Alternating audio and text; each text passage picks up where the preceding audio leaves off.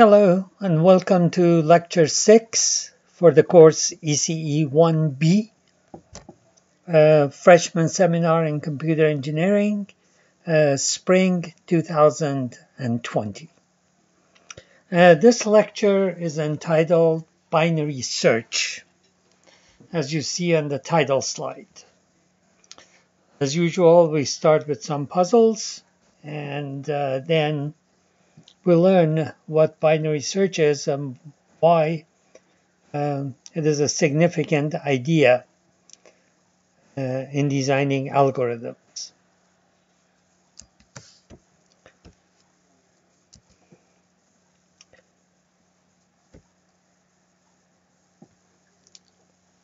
So in way of introduction, um,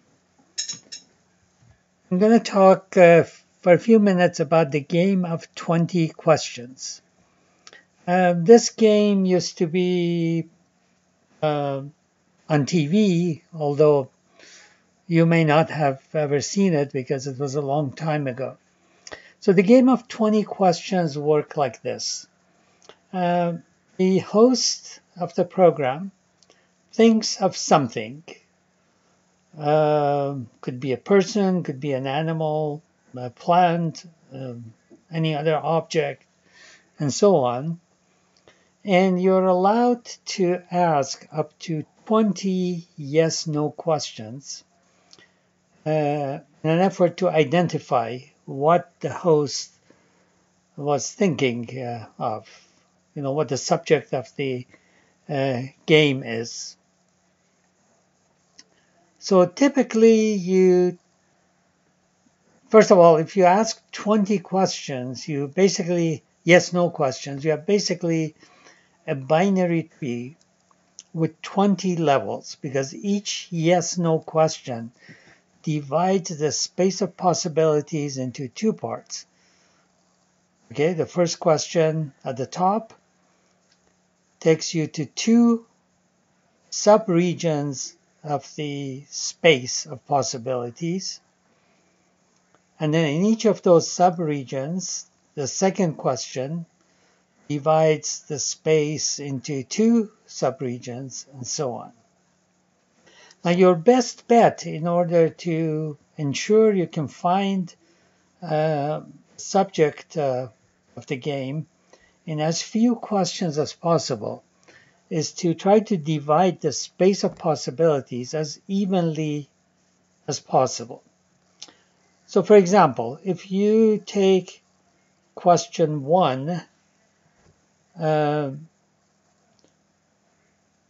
to ask, uh, is the subject an aircraft carrier?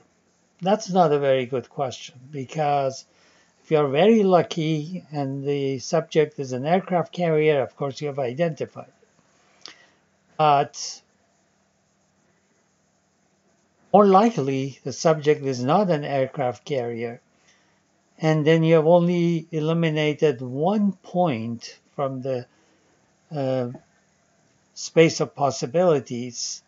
And therefore, you have not really made any progress toward identifying uh, what the object might be. On the other hand, if you ask questions such as, is the subject of the game animate?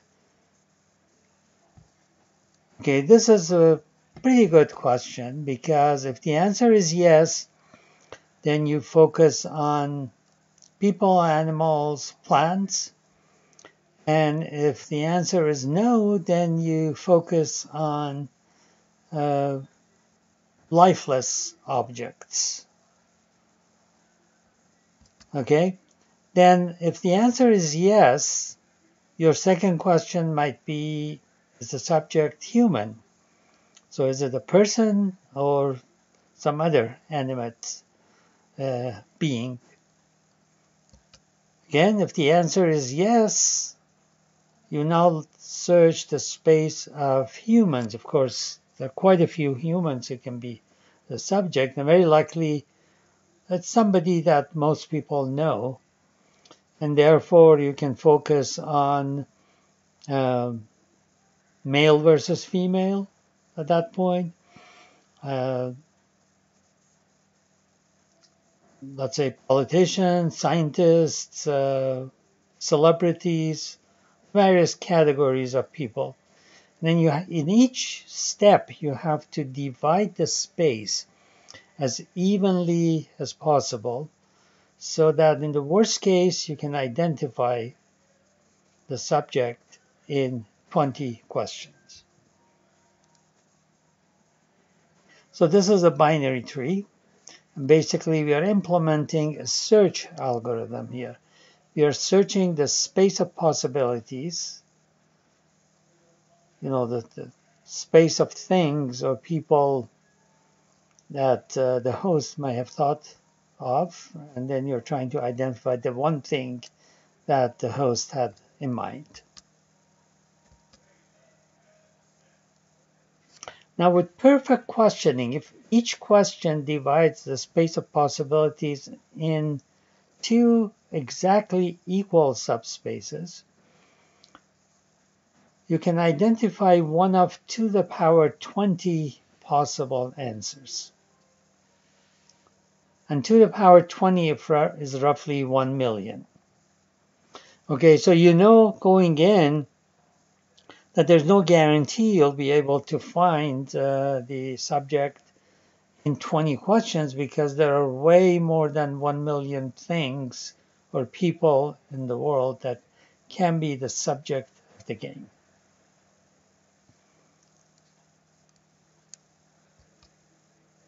Okay, so let's start with some puzzles now. Uh, here is a warm-up puzzle, as usual, an easy one. A large container is known to hold 24 ounces of nails.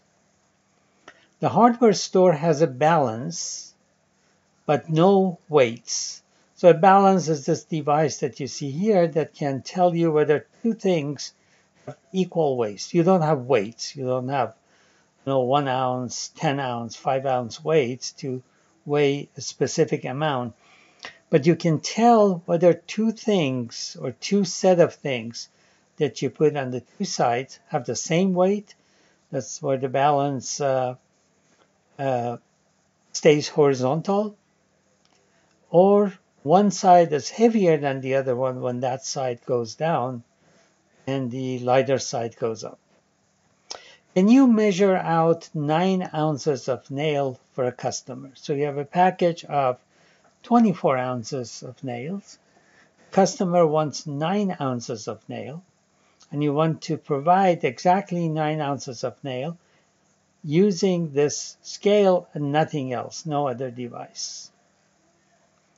Okay, so as usual, when I ask a question like this, please pause the video and see if you can solve uh, puzzle before uh, proceeding to the, look at the answer. So here's my answer. First, divide all nails into two equal piles. In other words, pour the nails on the two sides of the scale, all of the nails in the box, and make sure that the two sides balance. Okay, you may have to do some trial and error. So put some nail on each side. If one side is heavier, then take a few nails and put them on the other side, and so on until you have a reasonable balance uh, between the two sides. Okay, at this point you can tell that each side contains 12 ounces of nail. So you basically manage to divide the 24 ounces of nail into two piles, each having 12 ounces of nail. Now take one of those piles of 12 ounces and do the same thing. Divide uh, that pile into two parts and make the uh, balance basically show balance so that the two sides are equal, therefore each side has six ounces of Okay, so if we were looking for 12 ounces or 6 ounces, we already have the answer ought to be one nine, nine ounces. Well, the rest is easy. Take one of those six ounce piles, divide it into two halves, two equal halves, and then now take one six ounce pile that is left and one of the two three ounce piles, which together constitute nine ounces of nail. So you manage to weigh exactly nine ounces of nails without having any weights, okay, just by uh, repeatedly dividing things into equal halves using the balance. Okay, you can say we were lucky that we needed 9 ounces of nail. What if we needed 10 ounces? Would we be able to do it? Um, I'm not sure. I haven't worked that out. But you may sort of uh, uh, play with this a little bit and see what other amounts, what other weights, 10 ounces, 11 ounces, 12 ounces, of course, we know the answer already, 13 ounces, what about one ounce of nail, okay? See if those can be uh, delivered, those amounts, using the same mechanism. There's no guarantee that they all can be done. Okay, the second puzzle, chemist has a balance and fixed weights of 1, 2, 4, and 8 grams. So these are relatively small weights because, you know, when you weigh chemical substances, you typically deal with a small amount. So 1 gram, 2 grams, 4 grams, and 8 grams. These are the weights that we have. So of course, if you want to weigh 8 grams of a particular substance, chemical substance, you put the 8 gram weight on one side of the balance and then add the substance to the other side until balance is established.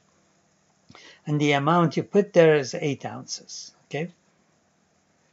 If you want 10 ounces, then you put the 8 and 2 gram weights on one side, that's 10 grams. Sorry, if I said ounce, I meant grams. So you put 8 and 2 grams on one side, that's 10 grams, and again put the substance on the other side until balance is established. And you've got uh, 10 ounces of that substance. Okay, now the puzzle asks you to show that this chemist can weigh any amount of material from 1 to 15 grams by placing the weights on one side and the material on the other. So think about this. How would you go about showing or establishing any amount of material from 1 to 15 grams in increments of 1 gram? Okay, so one gram can be done, two grams can be done. Those are obvious because we have weights for them. Three grams can be done because one and one plus two is three. Four grams can be done and so on. So establish that any number from 1 to 15, any integer weight from 1 to 15 can be done using those four weights. In fact, those four weights were chosen exactly because they allow you to do this. Okay, again, work on this for a minute or two before looking at my answer. So here, here are basically the equations that show you can do that. 3 is 2 plus 1, 5 is 4 plus 1, so basically each desired weight is decomposed into the sum of those fixed weights that we have. 6 is 4 plus 2, 7 is 4 plus 2 plus 1, 9 is 8 plus 1, and so on. So we can do this for all the 15 numbers from 1 to 15.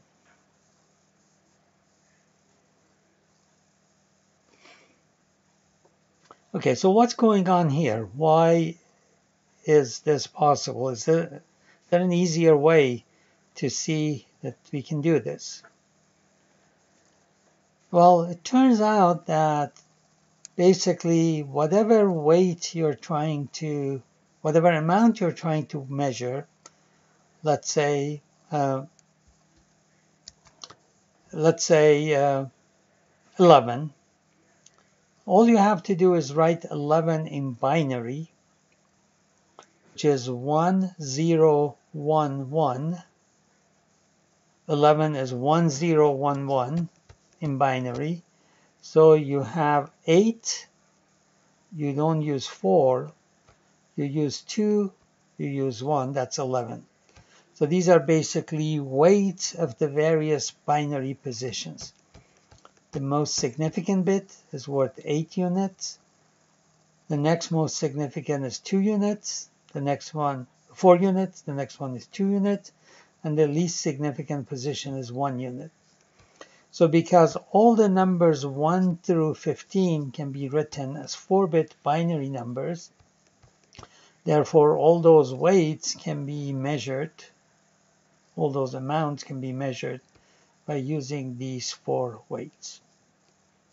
So it should be easy now for you to discover that if I add a 16 gram weight,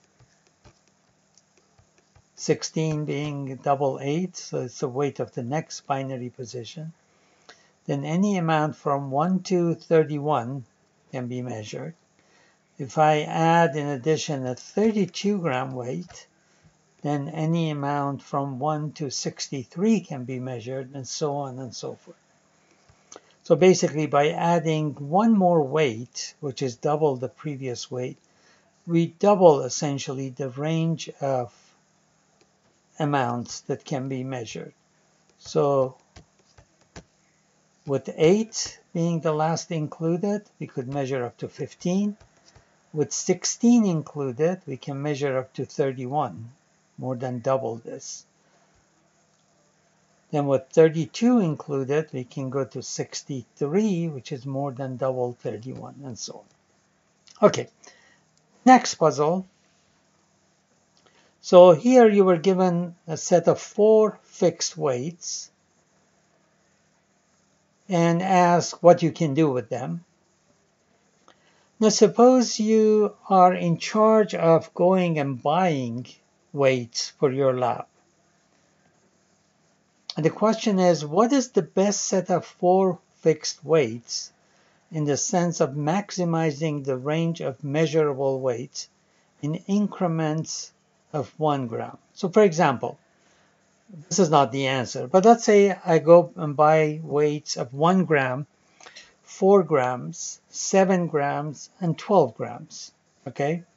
So the weights do not have to be 1, 2, 4, 8. I can choose 1, 4, 7, 12.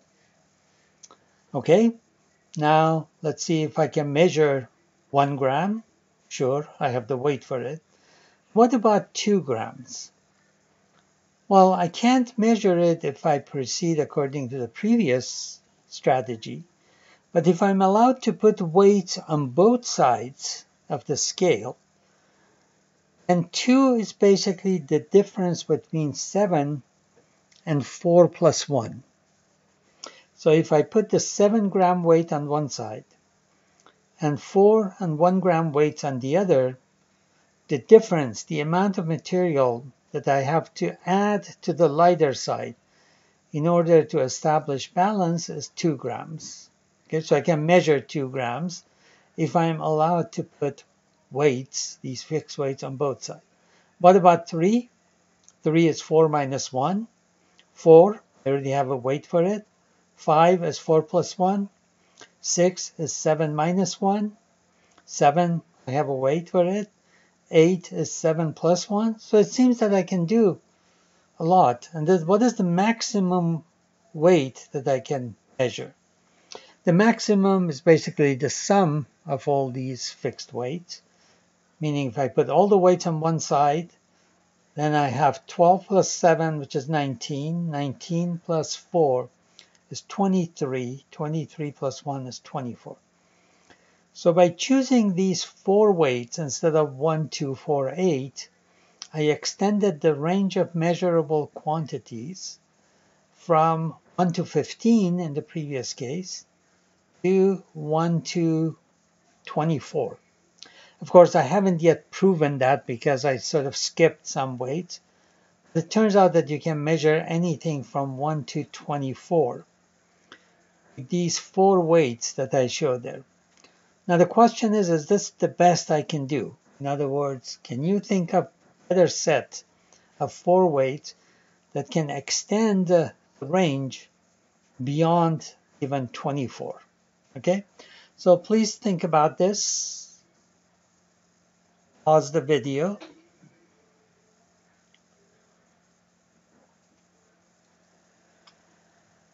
And I will reveal the answer. Here it is. It turns out that the weights 1, 3, 9, 27 are the best possible.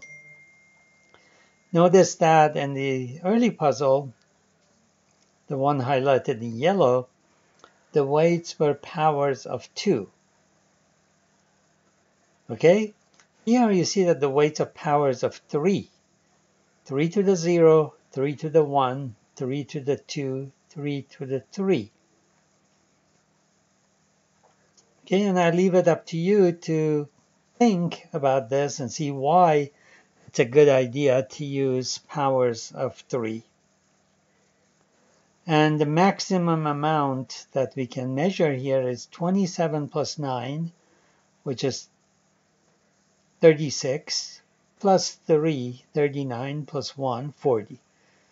So 40 grams, which is much better than the binary case up there, and better than the ad hoc example highlighted in blue.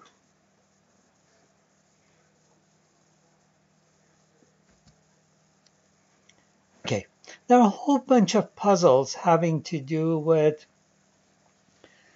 identifying counterfeit coins by using a balance. So here is uh, the simplest such puzzle. We have three coins.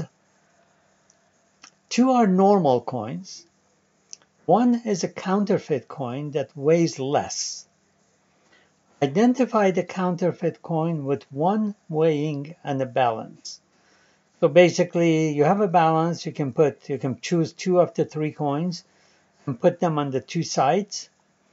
And then if the two have equal weight, then the balance remains horizontal. If one of the coins is heavier, then that side will go down. And given that we are told that the counterfeit coin is lighter, then the lighter side contains the counterfeit coin. Okay, so how would you go about solving this puzzle with a minimum, um, with just one weighing actually? Okay, think about this. So you can use the balance just once. I'm going to reveal the answer now, so don't advance until you've thought about the problem. Compare coins 1 and 2. Put them on the two sides of the balance. If they weigh the same, coin 3 is counterfeit. Because the two that weigh the same are genuine coins. The other one is counterfeit. Otherwise, the lighter of the two is counterfeit. Okay, so this is a direct result of us being told in the statement of the puzzle that there is just one counterfeit coin. Okay? If there's one counterfeit coin and the coins 1 and 2 balance, then 3 must be it. If 1 and 2 do not balance, the lighter of the two is the counterfeit coin. So this was an easy puzzle. Now we sort of uh, increase the complexity a little bit see if you can identify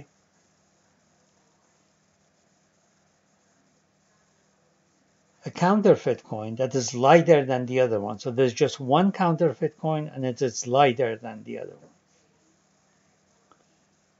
one. Okay, there are nine coins. Think about this. And as a hint, uh, the way I've grouped the nine coins is, is sort of, there's a way solution. So think about this and see if you can use two weighings to identify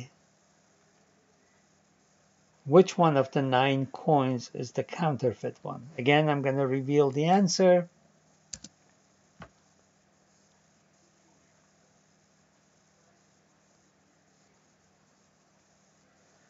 So the answer basically is put two groups of three. So call the groups groups A, B, and C. Put groups A and B on the two sides of the balance. If they balance, if they have equal weight, then all six of the coins in those two groups are good. Okay, so put groups A and B on the two sides. If they balance, then all six coins are good, and the counterfeit coin is among the remaining three. We already know from the previous puzzle that we can identify it with one additional way. If the two sides don't balance, A does not balance B, then whichever group is lighter contains the counterfeit coin. Okay? And again, since we know the group of three containing, containing the counterfeit coin, we use the previous puzzle to identify the actual coin with one weighing. So you need two weighings.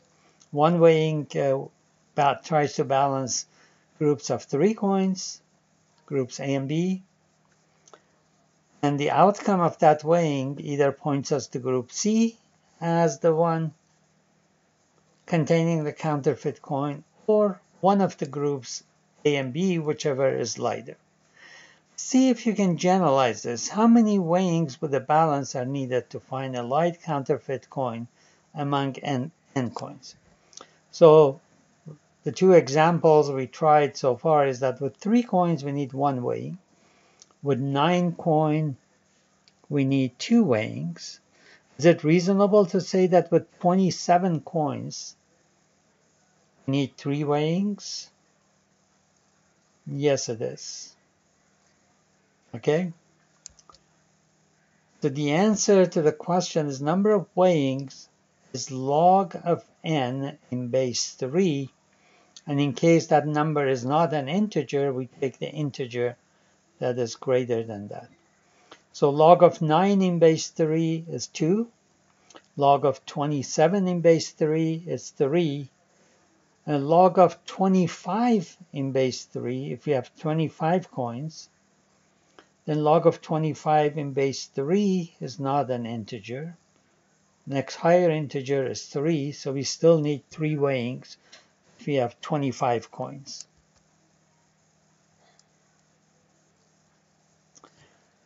Now here is a question which is relatively simple for you to answer. How would we change the procedures above if the counterfeit coin is known to be heavier than normal ones instead of lighter? So basically redo puzzles with three coins, with nine coins, with 27 coins. This time assuming that the counterfeit coin happens to be heavier than the genuine coins. Okay? This is for you to think about offline. Okay, now this is the most challenging uh, counterfeit coin puzzle among the ones that we'll discuss today. We have 12 coins containing one counterfeit coin. But we don't know whether the counterfeit coin is lighter or heavier. It can be either one. So 11 of the coins are known, known to be genuine. There's one counterfeit coin which may be lighter or heavier.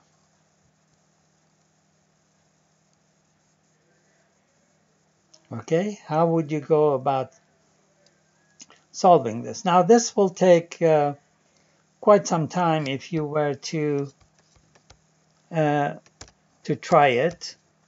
So I'm gonna sort of reveal the answer without giving you a chance to think about it. So we divide uh, the 12 coins into three groups of four coins why we do this is this basically, you know, the the solver of this puzzle discovered this way of doing it in order to minimize the number of weighings. So we call them group A, group B, group C. Compare groups A and B by using the balance. So there are three possible outcomes. A is equal to B in weight, A is lighter than B, and A is heavier than B. Okay, notice unlike the previous puzzle, if A is say lighter than B, we don't know which group contains the counterfeit coin. If A is lighter than B and the counterfeit coin is lighter, then group A contains it. On the other hand, if A is lighter than B and the counterfeit coin is heavier, then group B holds that coin. Okay, so we don't know at this point which one. But if they balance, that, that's the simpler case. If A is equal to B in weight, then C must contain the counterfeit coin. Okay, so this is the simplest case of the puzzle. So this is like the case study that we have been doing for some puzzles before. We take different cases. So now we have to focus on group C and identify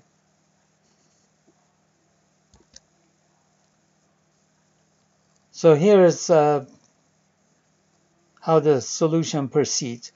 Weigh three coins from C against three of the good coins. We already have identified eight good coins in groups A and B. So take three coins from group C.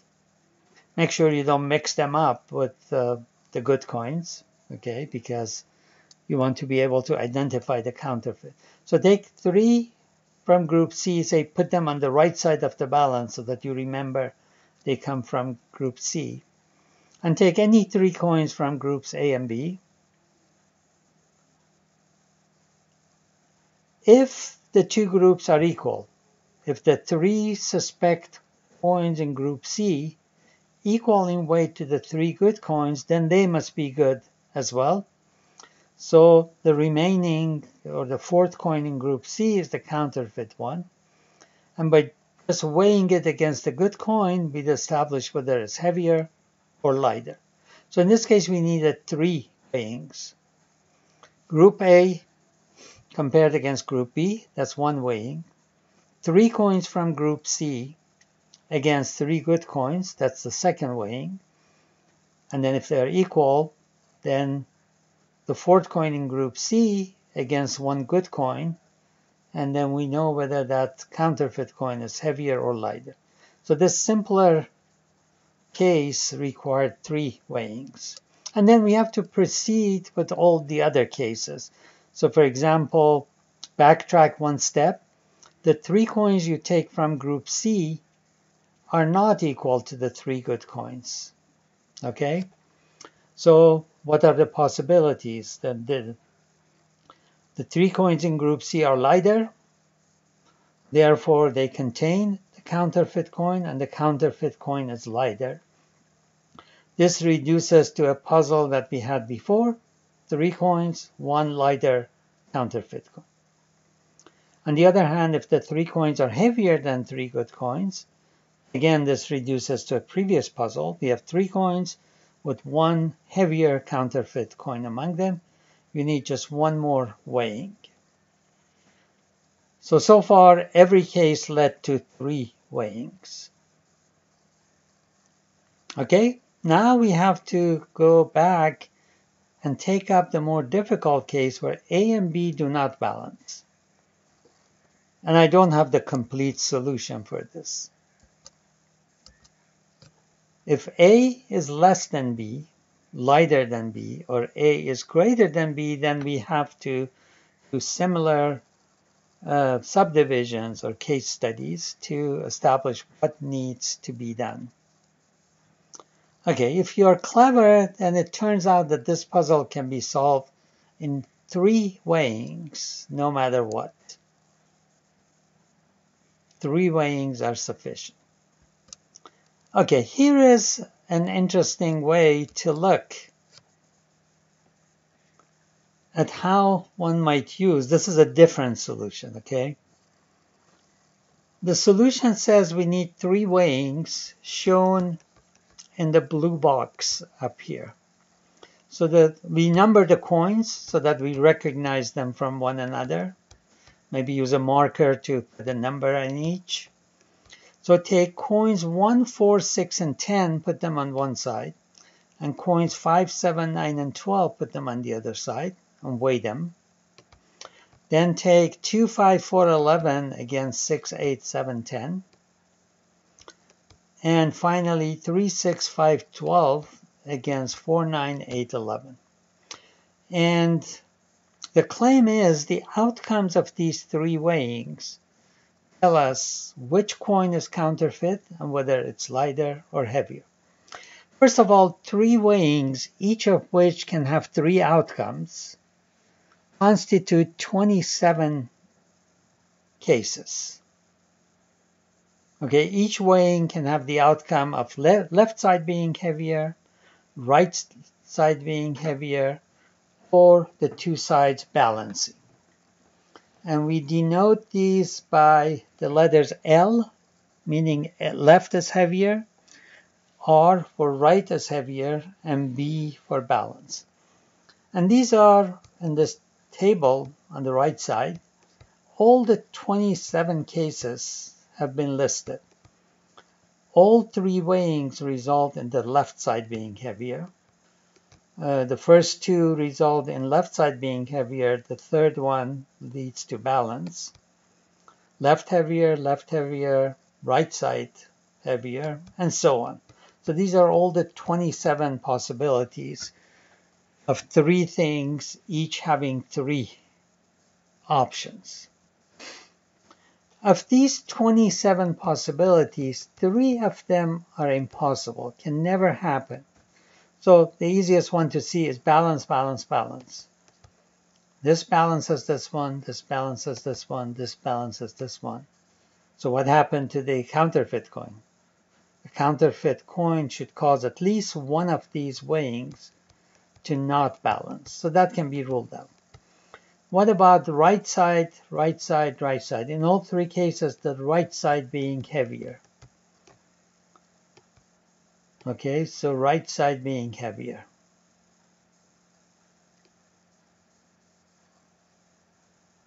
Okay, that can happen if there's a counterfeit coin that is heavier that happens to be among all these three sets or there's a counterfeit coin that is lighter and happens to be among all these three. And there's no such number. Okay, so for example, 4 occurs in two of these, but there's no number that occurs in all three. Similarly, on this side, 7 occurs in two of these, but there's no number that occurs in all three. So the right side being heavier in all three weighings is impossible. Similarly, the left side being heavier in all three weighings is impossible. So NP means not possible. So we had 27 cases, three of them are not possible. We are left with 24 cases. And those are just enough because we have 12 coins, each of which can be counterfeit, so that's 12 cases. And the counterfeit can be lighter or heavier, that's two cases. So 12 times 2 is 24.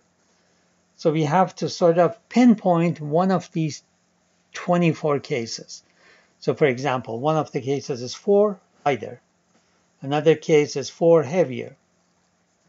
One more case is 1 lighter. One more case is 1 heavier. So that 24 cases altogether. And we have 24 cases remaining in this table.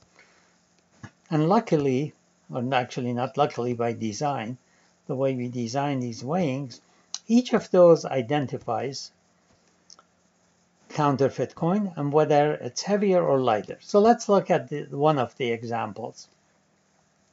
Actually, yeah, the LLB example.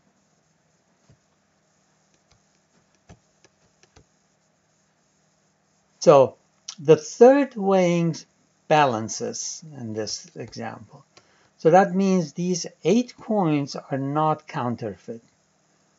3, 6, 5, 12, 4, 9, 8, 11 are not counterfeit. So what is left? 1, 2, 7, 10. 1, 2, 7, 10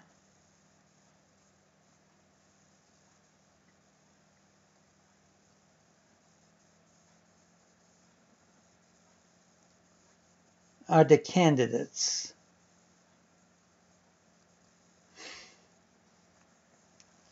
Okay, what happens if one is lighter? Look at the other two weighings. Uh, one is lighter is not possible because if one is lighter, this weighing would tell me that the right side is heavier, okay? What if one is heavier? If one is heavier, then that's the counterfeit coin. But then why is it that the second weighing does not balance? If one is counterfeit, one only appears in this weighing, and therefore it's impossible for the second weighing to not balance.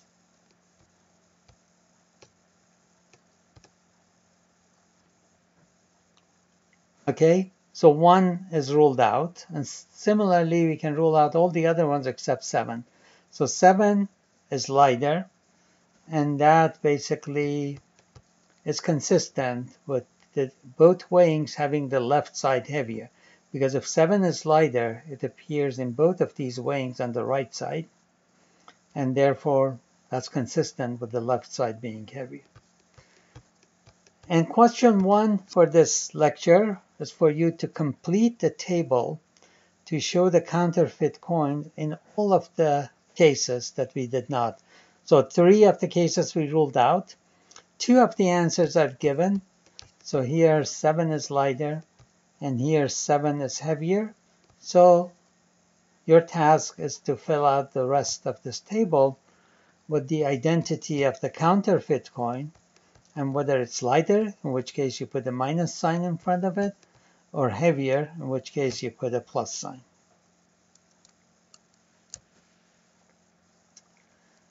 Okay, so this leads us to the notion of binary search.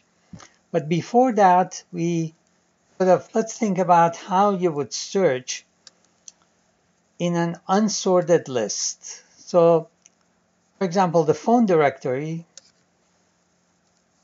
nowadays, you know, belonging in a museum because we don't have the printed phone directory. We have online directories.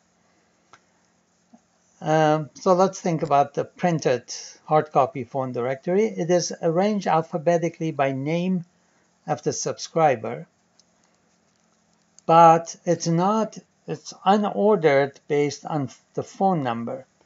So if I give you one of these phone books and say, okay, who has the phone number 765 4321? Nowadays, of course, we have reverse phone directories online, and you can enter the phone number and identify the subscriber if they're in fact listed. But imagine now you have this hard copy phone book, and I ask you, who has this phone number? Well, because these phone numbers appear in completely random order in the directory, our only option is just scan, is to scan the directory from the beginning to the end, looking at all the phone numbers until we have, we encounter this phone number. If the phone number is in there, in fact, okay? So if we are lucky, we find it early on, maybe on the first page, are very unlucky, then we may have to go all the way to the last page before we find it. So on average, we have to scan half of the phone book, which is a pretty lengthy process. So searching in an unordered list is time consuming. It takes linear time in the size of the list. If you have n items, it takes order n time, linear time n over 2 on average.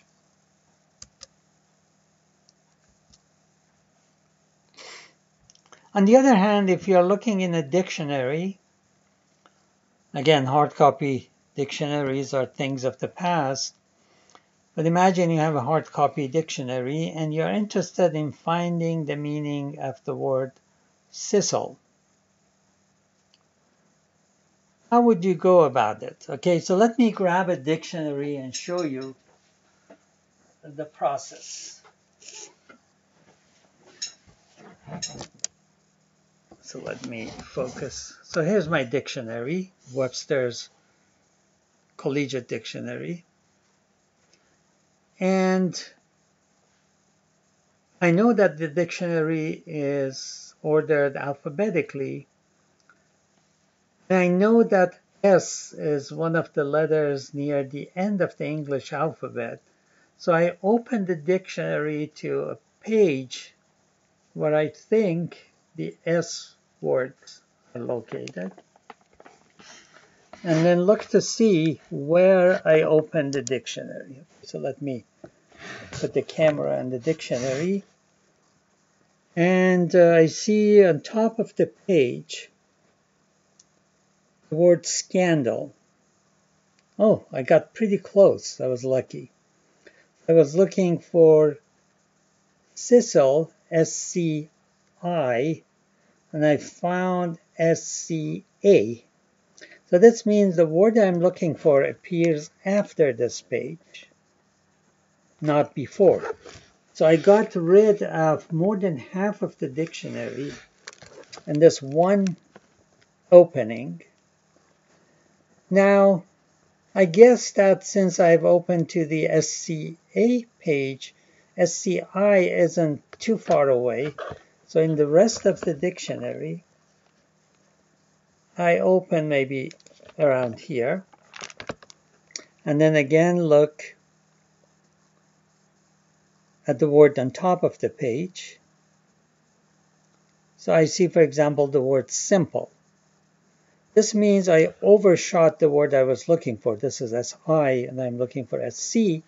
Therefore, the word I'm looking for is in this section between the first examination and this examination.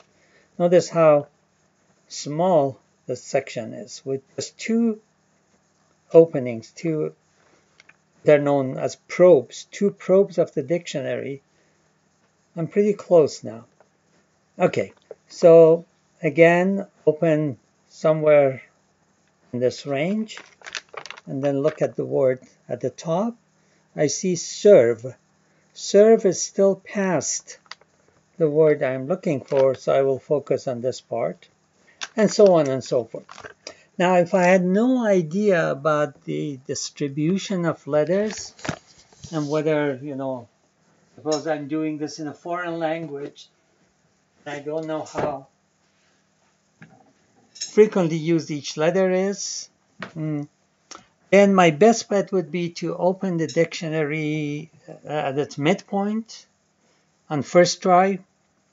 That will tell me whether the word I'm looking for is in the first half or in the second half. Then the middle of that part that is not ruled out on the second try. So this is also a binary search. Each probe I divide the range of possibilities to half. If I started with a 1,000 page dictionary, after the first probe, the word will be limited to 500 pages. After the second probe, to 250 pages. Then to 125 pages. So each probe divides in half the range of possibilities and therefore the total number of probes until I get to a single page will be log of 1000 in base 2, which is approximately 10. Which means in the worst case, I need to do 10 probes to find a word in a 1000 page dictionary, which is pretty good. Now imagine if the dictionary were unordered and I had to scan the entire book from beginning to end, that would take a very long time. So binary search is a mechanism that is used for searching in an ordered, whether the order is in numerical values, in alphabetic order, or whatever. Okay, I'm going to skip this slide in the interest of getting to being able to cover everything else.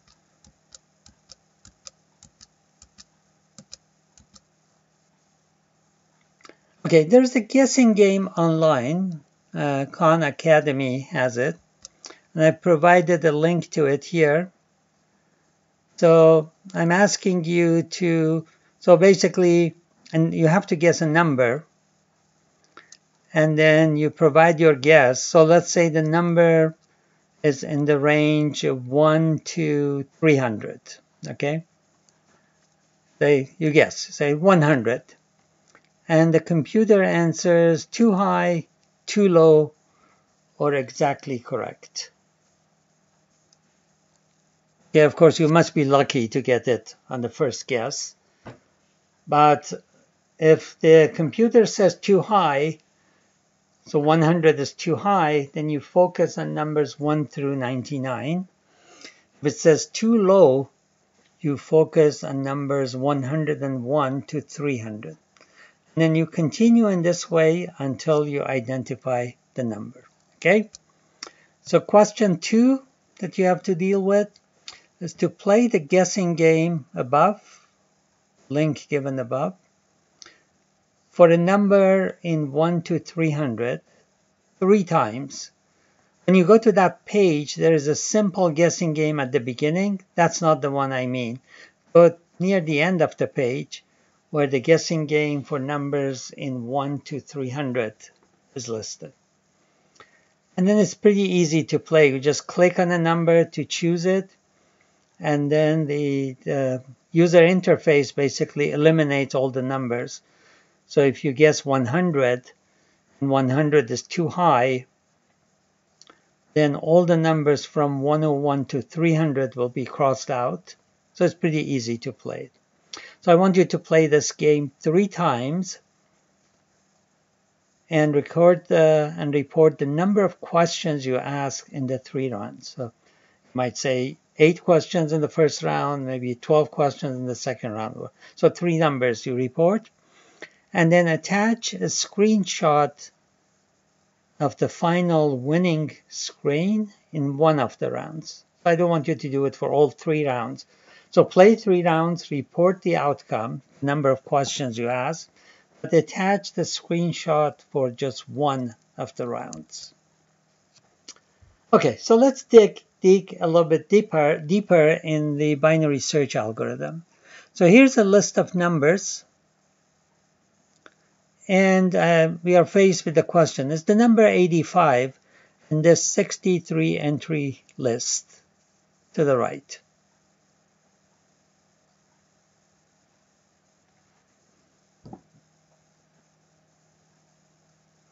So the, the color shading is used to sort of separate uh, 10 entries. So 10 yellow entries, 10 uh, mustard entries, that's 20, 10 blue, that's 30, 10 light greens, that's 40, uh, 10 purple, that's 50, uh, and 10 violet, that's 60, and 3 at the end. So there's 63 entries in this list. And then I ask you, is the number 85 in this list? And the binary search algorithm basically says, go to the middle of the list.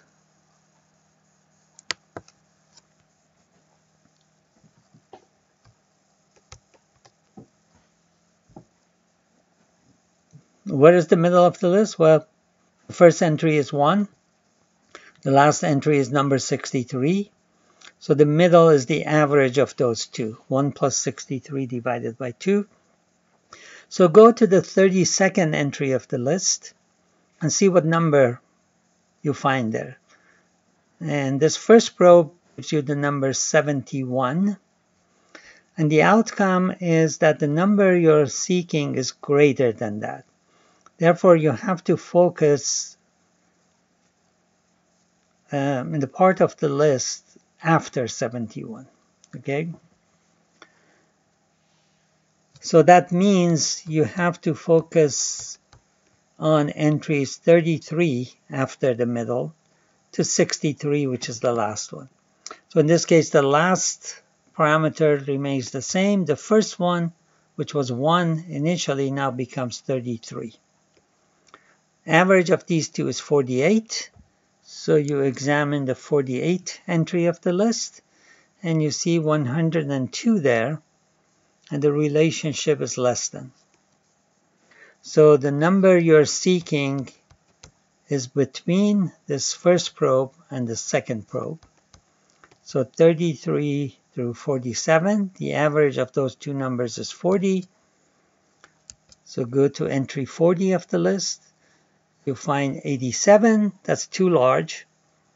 So the number you're seeking is between the first and the third probes, and so on and so forth. So in each step, basically, you either keep last fixed and change first, or you keep first fixed and change last, and then you continue until you encounter the equal condition. In this case, one, two, three, four, five, six probes led you to the number 85. So the sixth probe is basically here, in the middle of these two.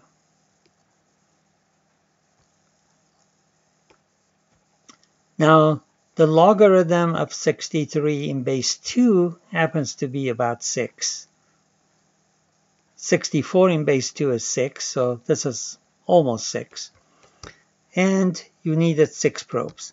So in general, you need n probes for any list of 2 to the n minus 1 entries.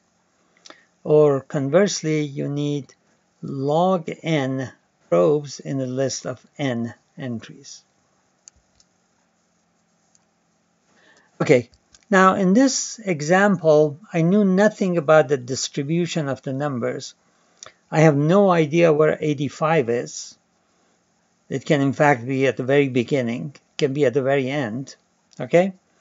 However, when I know something about the distribution of numbers in the list, so I see the numbers go from 1 to 133, I can use something called interpolation search, meaning that I notice that 85 is closer to this end number than to the first number. So instead of going to the middle of the list, to go to this element of the list, which is size of the list 63, the number I'm seeking minus the minimum number, the maximum number, so this is basically the span of the list, max minus min. This is how far my number is from min. I multiply this ratio by size to sort of estimate where in the list the number might be assuming that the numbers are more or less uniformly distributed. So the first probe will be at location 63, size of the list, x minus min, 85 minus 1, max minus min, 40. So this interpolation search suggests that I have to go to location 40, and sure enough, I'm almost there. And then looking at position 40, I see that that number is too large. Therefore, I have to go in the first part of the list. Where in the first part? Well, because the number I'm seeking is very close to 87,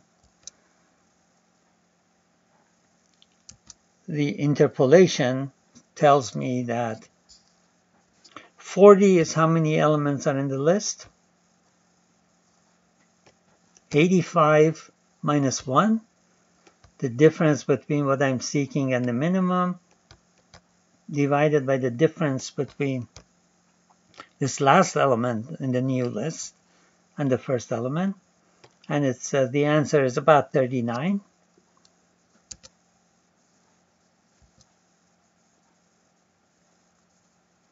And sure enough, when I probe that, so I just needed two probes using interpolation search.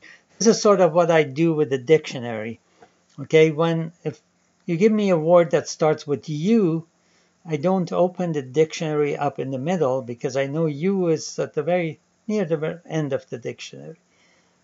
So I'd say, okay, let's open the dictionary to, you know, a page that is 90% truth rather than midpoint.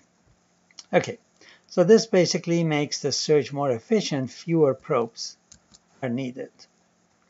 Now lists are generally dynamic. In this case, you know, this list is given to me.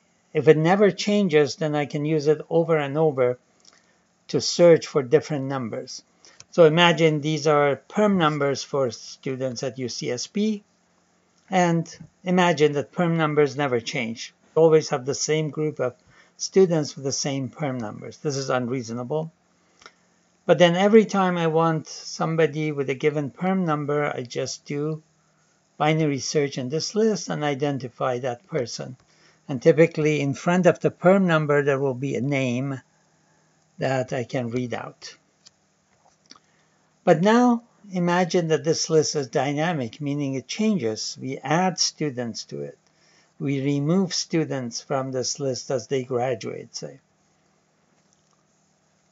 Then this ordering of the list is not a very efficient thing to do because the list changes. Every time I want to add something, let's say to this list, let's say I'm going to add 72.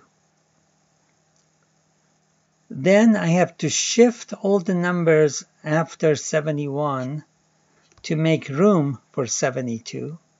So even though it takes a logarithmic number of steps to search this list, addition requires linear time.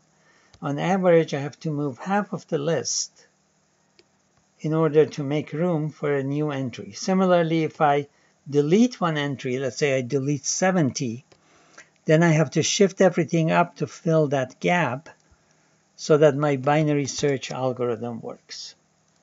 So when you take insertion and deletion into account, then a sorted list may not be the best option because there's a lot of overhead in maintaining the sorted order as you add and delete things from the list. So here are some examples of dynamic lists. Students currently enrolled at UCSB. Customers of a wireless phone company currently having active connections.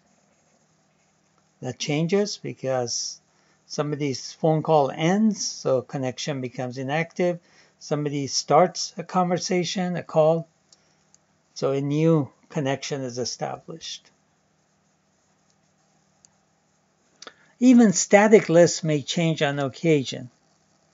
So for example, the list of UCSB graduates class of 2000, you might think that's a static list because, you know, anybody who was going to graduate has already graduated and that list should not change.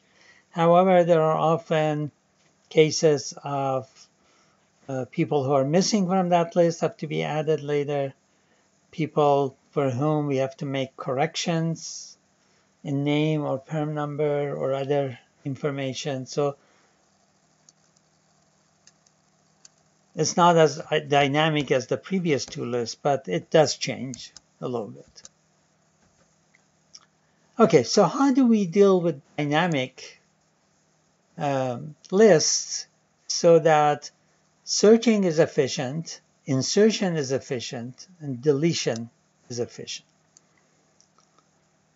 All three. Remember, in, in sorted list, search was efficient, but insertion and deletion were not efficient. In an unsorted list, on the other hand, insertion is efficient because you just add the new thing at the end of the list because it's unsorted, okay? So you don't need to move anything else around. Just add at the end of the list. And if you want to delete, delete one entry and then take the element at the end of the list and put it there. So with a couple of operations, you update the list so that it now has one fewer element. So an unsorted list has efficient insertion and deletion, but inefficient searching. Okay, so now we are looking for something that is efficient in all three operations, insertion, deletion, and searching. This structure is known as binary search tree, where each node contains a number. So the list of numbers in which we are searching, shown here, appears in the nodes of this tree. And the arrangement of the tree is such that if the number 71 is at the root, every number on the left side, on the left subtree, is smaller than 71.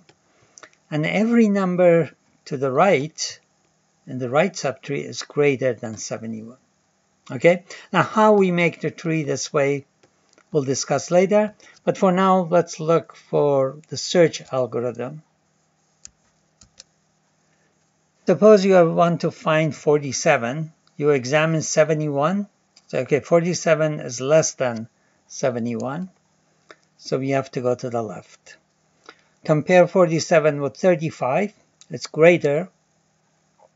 So we have to go to the right. Compare it with 57. It's less. We go to the left. Compare it with 45. It's greater. Go to the right. Compare it with 49. It's less. You go to the left. And there you found it.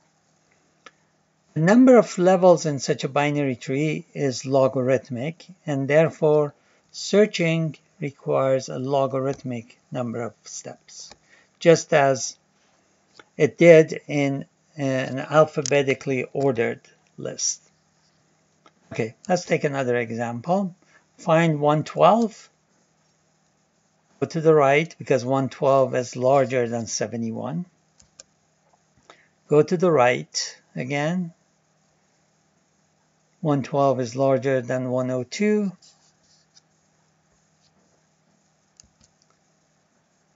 Go to the left because 120 is larger.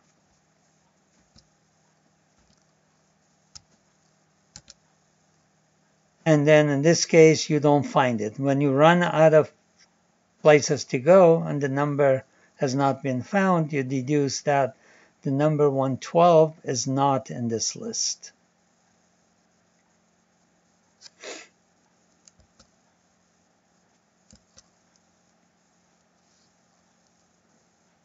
Now, let's look at insertion. Insert 48. Okay, 48 is less than 71, so it has to be inserted in the left subtree. It's greater than 35. It's less than 57. So basically, 48 is greater than 47, so it has to be added on the right of 47.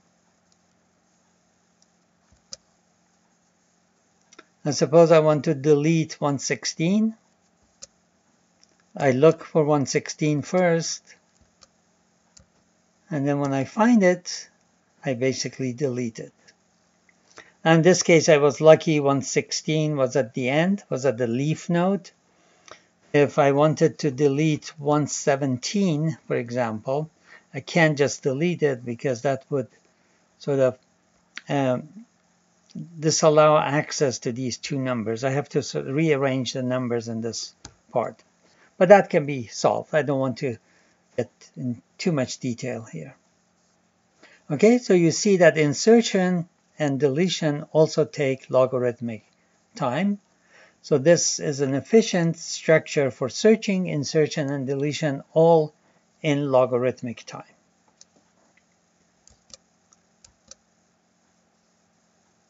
However, you see here that when I added 48 and when I deleted 116, the tree lost its balance. Originally, it was completely balanced, meaning that the path from the root of every leaf had the same length. When I inserted 48, the path grew by 1 in that one case. And when I deleted 116, the path shrunk by 1 in that one case.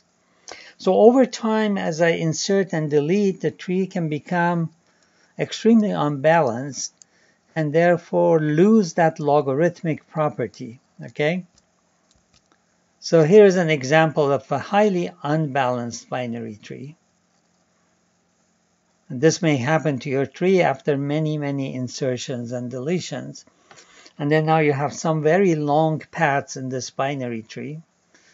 You also have some very short paths, but in the worst case, latency will grow as the tree become more and more unbalanced. So you need to come up with a way of rebalancing the tree every once in a while when it gets out of balance in order to ensure that that logarithmic uh, time for insert, delete, and search remain valid. Now, artists have taken binary trees and played with them. Uh, these are binary trees, as you see, start from the bottom. This is a branch. It is divided into two branches. Each of those is divided into two branches, except that the length of the branches are different and the angles are different, perhaps randomly chosen to create these pieces of art. Okay, I'm gonna skip this one too, this slide. So in practice, we don't use binary trees, but we use multi-way search trees that this example shows.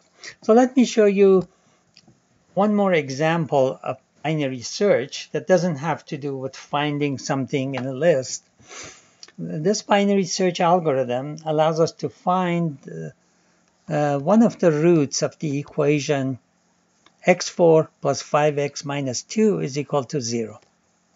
So f of x is x4 plus 5x minus 2. Now we evaluate f of 0, replace x with 0, you get minus 2. f of 1, replace x with 1, you get 4. So f of 0 is negative, minus 2, and f of 1 is positive, plus 4. Therefore, this function has a root in the interval from 0 to 1 because f of 0 is negative, f of 1 is positive. So the function crosses from negative to positive somewhere between 0 and 1. I may be interested in finding the exact value of the root.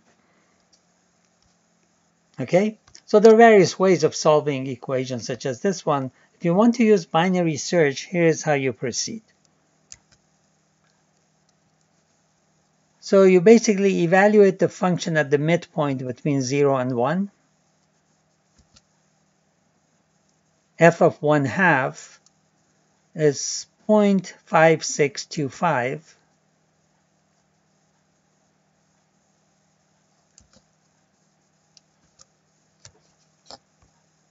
or 9 16th. So now the root must be in this interval, from this negative value to this positive value. I've eliminated now this right interval from consideration. Take the midpoint of that interval, midpoint between 1 fourth and 1 half, that's 3 8. Evaluate the function. Function value is negative. Therefore, the root is now in this interval from 3 eighths to 1 half. Okay, and you can continue in this way. So the next uh, probe will be at 7 16th, halfway between 3 eighths and 1 half. And you find the value of the function and you continue until that interval becomes pretty small and you have the root with high precision. Now as question 3 I'm asking you to continue the root finding process above until the error in the root. The error is basically the difference between the two ends of this interval. Until the error is less than 0.001, 1 in a thousand. Okay, so that's your question three. Continue that process.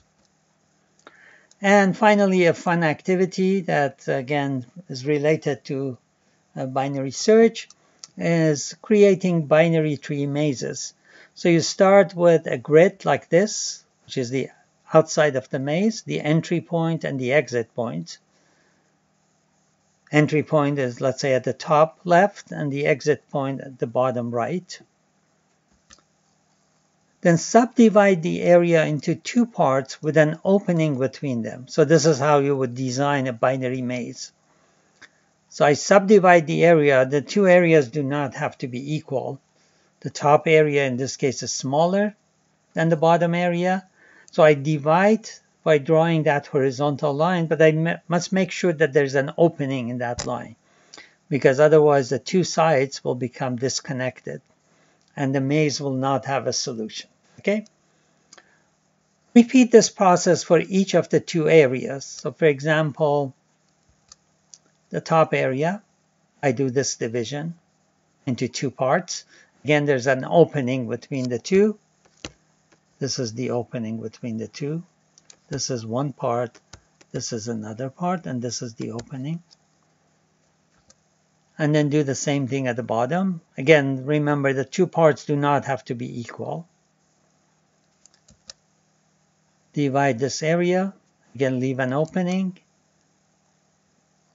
divide that area, divide that area, and then you continue this process until no further subdivision is possible. That will happen when basically the areas have one dimension equal to 1. So you can no longer divide this area here. But this area can still be divided, okay, this area up here. And as question 4, the final question, I'm asking you to complete the design of this maze, proceeding until no further subdivision is possible. Okay, so take this initial state that I'm giving you here, continue dividing. So for example, draw a line here with an opening, of course, let's say in the middle, and so on. Until and proceed until no further subdivision is possible, and then submit the diagram of your maze as answer to question 4. Okay, so this is uh, all I wanted to say about binary search. Uh, remember when you submit uh, answers to the four questions, uh, make sure that uh, the subject line of your email refers to lecture 6, ECE 1B, and that at the top of the body of your email you provide your name and perm number. Perm number is important because my list is arranged by perm numbers so that I can update the list on the course webpage, which is also arranged by reverse perm number. So please do provide your perm number in every submission. Um, so this lecture uh, is scheduled for uh, Monday, 4th of May, and answers to the four questions are due by Wednesday, 6th of May, 6.30 p.m. Please submit on time. Okay, Wednesday, 6th of May, 6.30 p.m. Uh, thank you and see you in the next lecture.